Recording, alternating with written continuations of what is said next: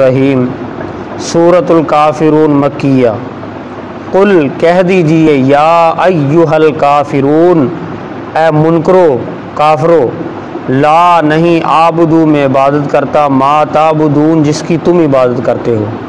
वला और ना अन तुम तुम आबिदू ना इबादत करोगे, मा आबुद, जिसकी मैं इबादत करता हूँ। यानी कि नबी अली सलाम के पास वलीद बिन मुगीरा, नाम याद रखना, काफर था।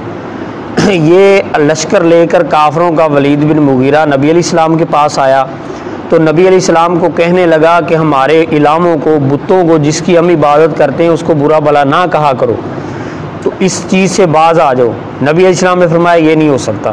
तो फिर वो कहने लगा, हमारे साथ कंप्रोमाइज़ कर लो। अगर आप हमारे इलाकों को बुरा भला कहने से चलो नहीं तो आप इस तरह करो कि आप हमारे इलाकों की इबादत किया करो एक साल।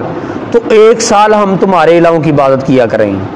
हमारे पास साथ मुकम कहा कर लो, हैं? तो नबी अली सलाम जो है, इनकी बात सुन के हैरान रह गए। आम आदमी जो मुसलमान है, हम है अलहमदिल्ला तोहीद वाला, वो कभी भी गवारा नहीं करेगा कि किसी गैरुल्ला की इबादत करे। तो वो फिर पैगंबर है, नबी है।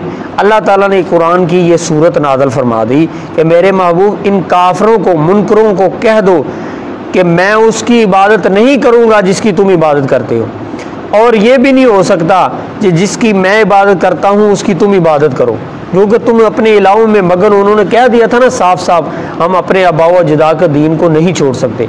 आपने फरमाया, जिस तरह तुम अपने अबाव अजदाद के दीन पर पक्के हो ना, नहीं छोड़ सकते तो मैं अपने खुदा की पैरवी परवरदिगार की जो तोहीद है, उसकी इबादत मैं भी नहीं छोड़ सकता। एक सेकंड के लिए भी नहीं।